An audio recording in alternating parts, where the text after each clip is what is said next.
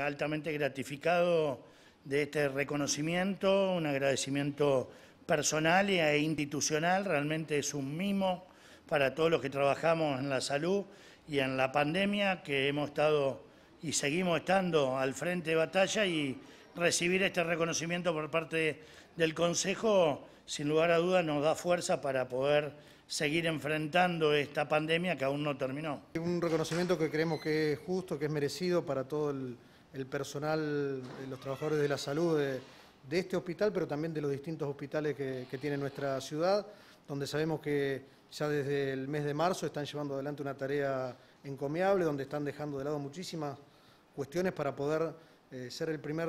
punto eh, para enfrentar de alguna forma a esta circunstancia eh, que es el COVID-19 y entendimos del Consejo Municipal, todos los bloques del Consejo, los, cuatro bloques, que era importante destacar el trabajo de, los, de todo el personal de, salud de, nuestra ciudad y de alguna forma entendemos que el Hospital Cuyen es un emblema para los y las santafesinas eh, de ese trabajo en salud en, Santa Fe. Obviamente es un nuevo reconocimiento a un lugar tan importante de nuestra ciudad, de nuestra zona de influencia, un lugar que hoy está batallando contra una pandemia mundial, que obviamente no teníamos antecedentes, un lugar que está dejando todo, que realmente vemos que día a día se esfuerza más para seguir cumpliendo con las expectativas de todos los vecinos de nuestra ciudad y de la zona de influencia.